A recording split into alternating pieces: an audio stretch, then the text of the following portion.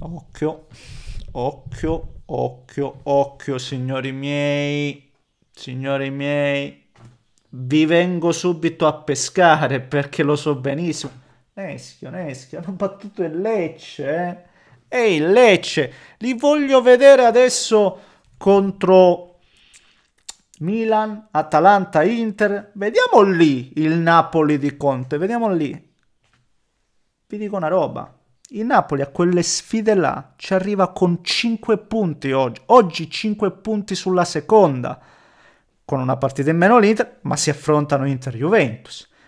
E quando tu puoi anche ragionare su un bel gruzzoletto che ti sei conquistato, il discorso cambia, ragazzi, specialmente in un campionato come il nostro dove no, stai a fare qualsiasi ragionamento.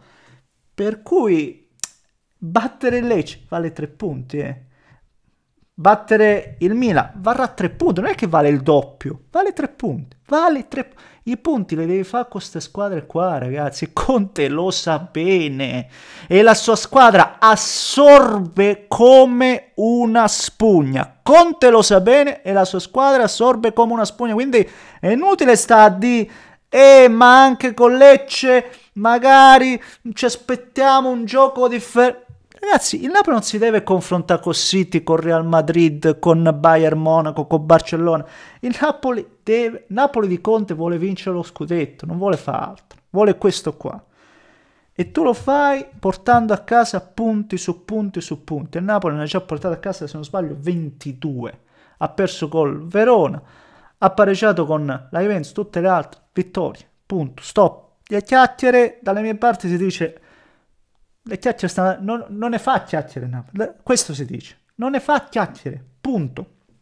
Adesso parliamo un po' della partita. Prima se volete vi invito a lasciare un like no? per dare una carezza all'algoritmo che altrimenti affossa il contenuto. Iscrivetevi al canale per seguire i prossimi appunto di, di video e attivate la campanella altrimenti non vi arriva nessuna notifica quindi tutto quello che avete fatto non serve a nulla. E io vi ringrazio per il supporto. Inoltre eh, ancora una volta vi ricordo il corso gratuito altrimenti non starei neanche qui a parlarne. Il corso gratuito offerto da Match Betting Academy. Numeri uno in Italia un'agenzia eh, un'azienda eh, incredibile sul match betting che ricordo ancora una volta scanso di equivoci non stiamo a parlare di, di, gioco, di gioco d'azzardo non si tratta di scommettere su una squadra su una partita su un 10 su quello che è cercando poi di, di, di vincere assolutamente no si parla di eh, guadagnare in maniera matematica dai bonus eh, che vengono erogati dai siti delle, de, de,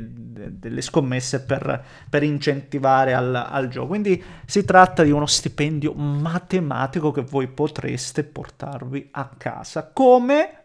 Andate col, al link in descrizione e vi, vi registrate al corso, ribadisco ancora una volta, gratuito, gratuito, non c'è da pagare una mazza, quindi andate sotto. Torniamo alla partita, andiamo alla partita. Oggi, oggi il Napoli ha fatto quello che doveva, una partita assolutamente diversa rispetto a quella con l'Empoli, magari anche l'Empoli un avversario, secondo me ad oggi parlano i numeri, un avversario più, più corazzato calcisticamente parlando, però il Lecce è conscio dei sei gol presi in casa contro la Fiorentina, ha avuto un approccio anche diverso, ha creato anche le sue, le sue situazioni, se penso a quella di Dorgu nel finale, che doveva tirare, non capisco perché l'abbia messo in mezzo.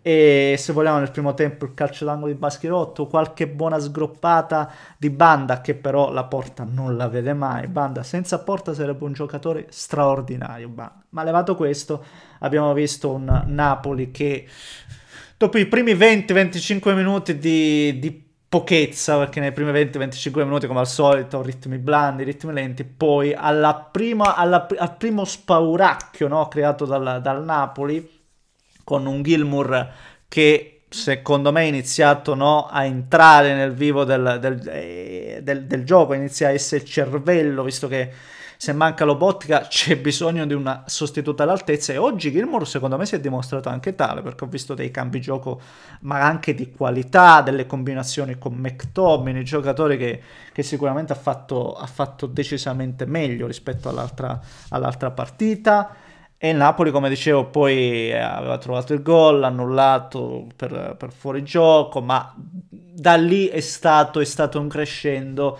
e si vedeva che onestamente era nell'aria il gol. Quindi oggi rispetto alla partita con l'Empoli io non parlerei neanche di, di, di caso assolutamente in, in, in, alcun modo. Il gol era nell'aria ed è ed è arrivato. Ed è arrivato nonostante ancora il Napoli non abbia dalla sua l'attaccante. Il Napoli ancora sta giocando senza l'attaccante per quanto mi riguarda, perché Lukaku non può essere quello che abbiamo visto per 70 minuti.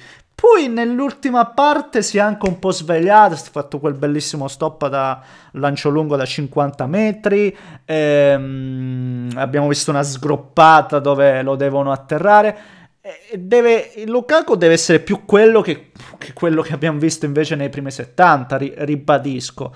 E nonostante questo il Napoli, il Napoli porta a casa punti perché poi c'è gente corazzata, anche Sa e McTominay è un centrocampo di, non solo di sostanza, eh, Di Lorenzo è ritornato secondo me su ottimi, ma veramente su ottimi livelli, è un giocatore eh, che, cioè, che, che, è ritornato a splendere. L'aggiunta di Buongiorno dietro, dietro, ti dà delle sicurezze che prima nella passata stagione assolutamente non avevi e sommando queste, tutta sta roba qua, sommando tutta sta... perché il Dexter, mamma mia, mamma mia.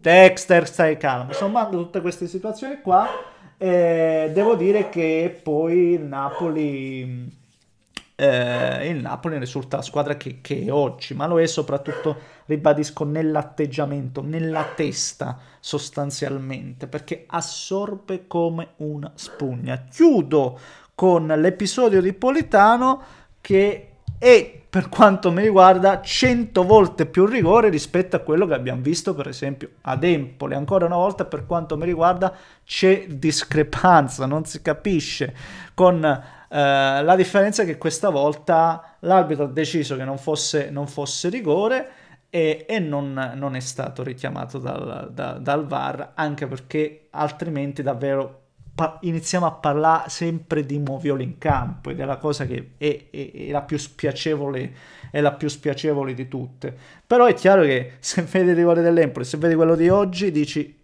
come? Lì lo dai? E questo, questo non lo dai, quando è nettamente banda che frana su su Politano in una maniera proprio inequivocabile, eppure nel, nel, calcio di oggi, con il regolamento, le regole, l'applicazione soprattutto di, di oggi, succede, succede spesso sta, sta, roba qua, quella di trovarci a dire perché qua, perché la, eh, funziona, funziona così.